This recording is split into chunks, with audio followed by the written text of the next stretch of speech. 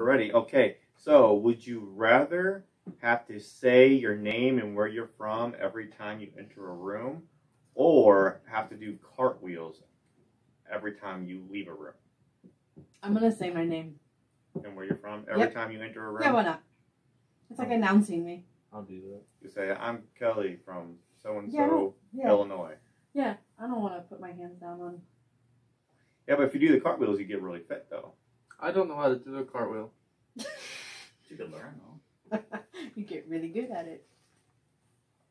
But then I guess every day. essentially you could do an aerial cartwheel and you wouldn't have to touch the ground.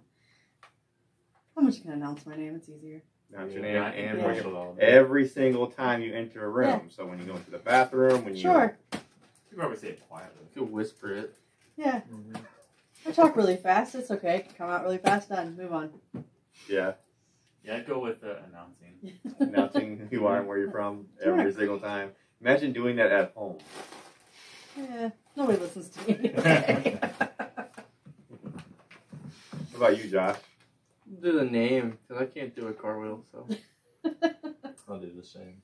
Do the car, do the same. So no one is choosing. I thought, no. I thought for sure you would say cartwheel, Caleb, because you're like you know into like working out and, Gymnastics. No, and you know super athletic and everything. Gymnastics. no, I'm not a big jumping and flipping type of guy.